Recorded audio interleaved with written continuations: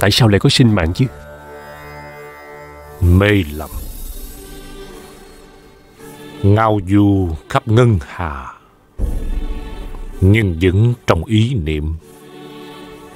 Không thay đổi theo thời gian Cũng không thể lập mất đi. Vậy tại sao lại có khổ? Sinh bạn vô thường là nguyên nhân của khổ. Làm sao để vượt thoát khỏi sự vô thường? Nhận rõ được chân lý đó.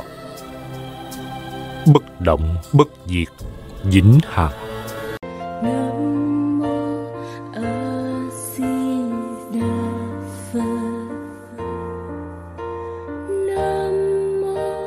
A Di Đà Phật. Nam